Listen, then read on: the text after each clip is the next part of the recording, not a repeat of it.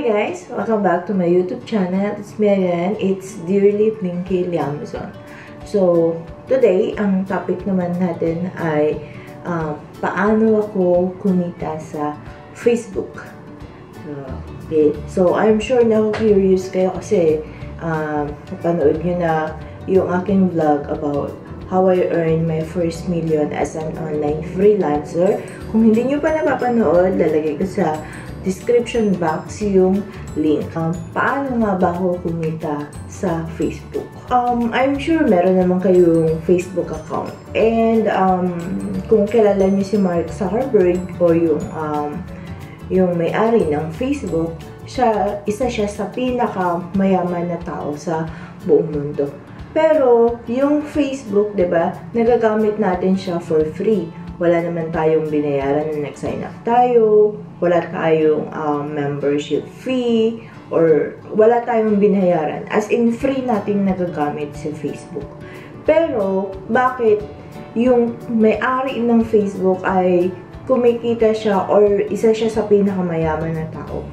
So, ang sekreto ay ito. Okay? Ang um, Facebook, yes, free natin siyang nagagamit.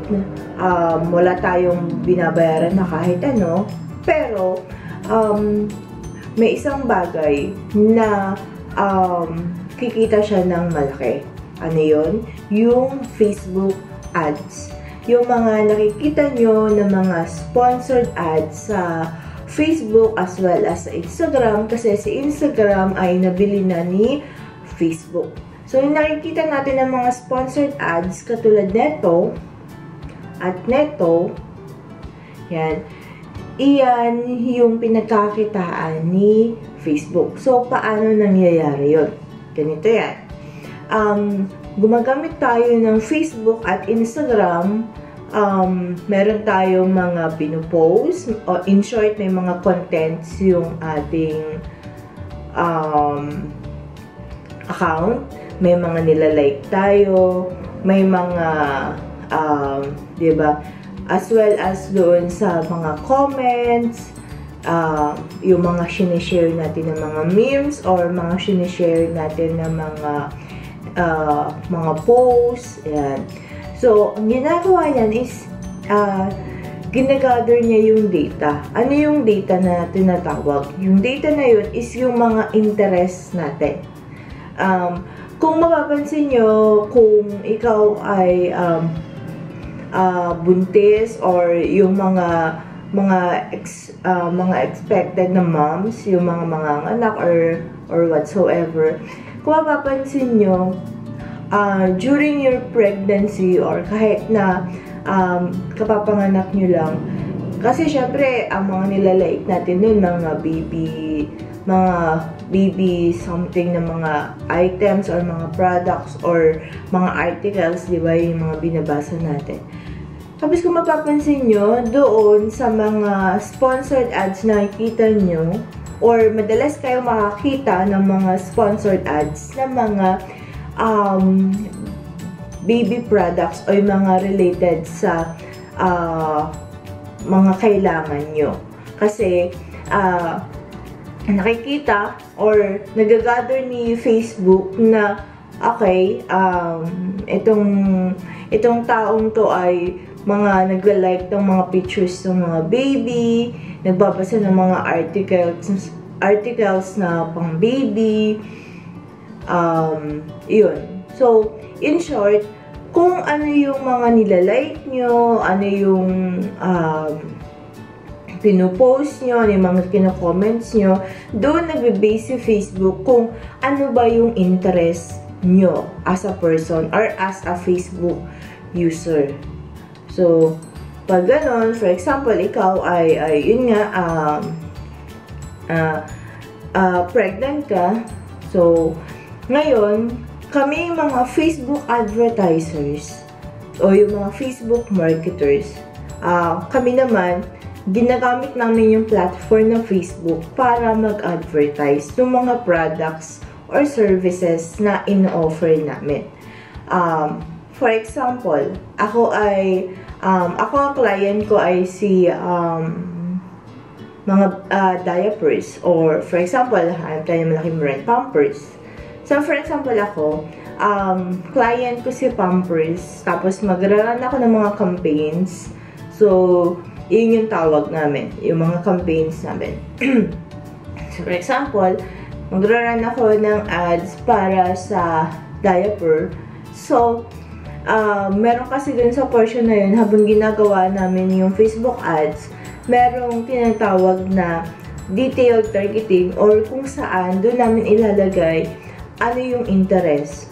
Ano yung mga interest ng mga taong gusto namin makita ng products namin.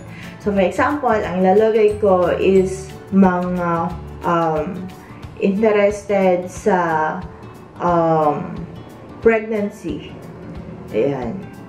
Tapos ikaw, interested ka din sa pregnancy. So, kung may sinet ako dun ng location na Philippines, tapos ikaw ay taga-Pilipinas or nandito ka sa Pilipinas, so more or less, may chance na makita mo yung ad na ginawa ko for Pampers. So, ngayon, ang mangyayari, yung sponsored ads ni Pampers na ginawa ko, ay makikita mo sa yung pwedeng sa newsfeed, pwedeng sa messenger or pwedeng sa story, ganyan. So, may iba-iba din siyang placement. Placement yung tinatawag. so, sa ganun kumikita sa Facebook. Tapos, kapag meron ko yung ad na yun for Pampers, babayaran ko ngayon si Facebook kasi um, naka, may mga nakakita nung ad ko. Okay? Tapos, meron din yung budget. For example, is budget per day, is 500 pesos. So, babayaran ko si Facebook ng for 500 pesos. As well as, um, in return naman, may makakita ng ad ko na interested bumili ng product na ino-offer ko, which is Pampers. So, in return, nag-advertise ako. So, ang makita ng ad ko is yung mga interested na bumili. So, yun yung uh, way para kumita si Facebook as well as kaming mga or uh, kaming mga Facebook uh, ads manager is nakakaroon kami ng mga clients, pwedeng mga maliliit lang or pwedeng yung mga malalaki na companies. So, ganun, uh, sa ganun way kumikita, ulitin ko, okay?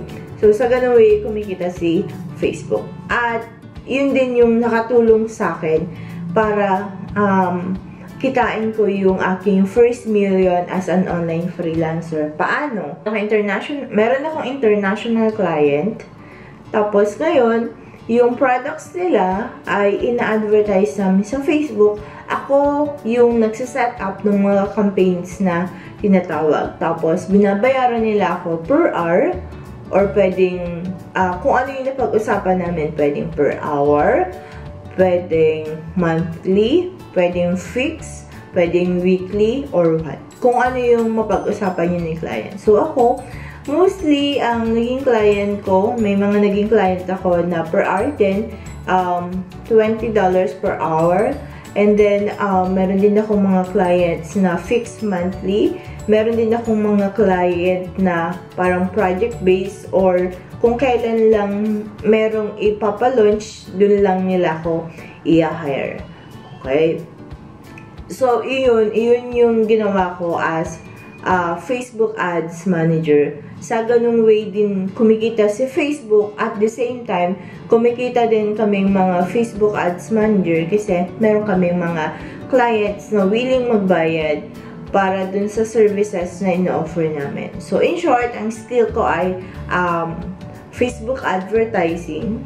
And then, um, kumukuha ko or nakita ko ng mga clients sa iba't ibang platform like um, onlinejobs.ph and um, pwedeng sa Upwork.com pero hindi ako nagkaroon ng client sa Upwork.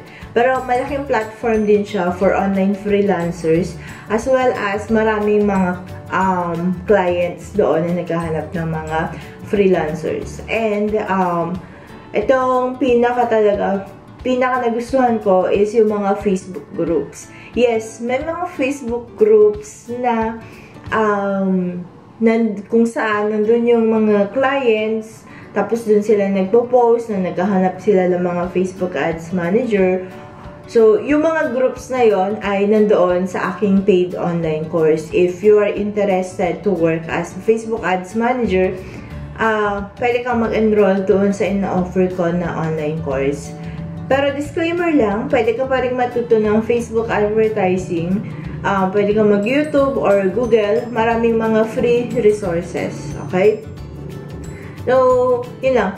If may mga questions ka pa or may mga topics ka na gusto mong itakal ko, pwede ka mag-comment sa baba. Comment mo lang or message mo sa Facebook page ko www.facebook.com slash Liamson. Ayan. Kung ano yung mga gusto niyo na topics na uh, itackle ko. So, for the meantime, yun lang muna. Um, I hope na medyo naintindihan nyo na kung paano ko kumita ng first million as an online freelancer as well as kung paano kumikita yung Facebook kahit na free lang natin nagagamit yung platform niya.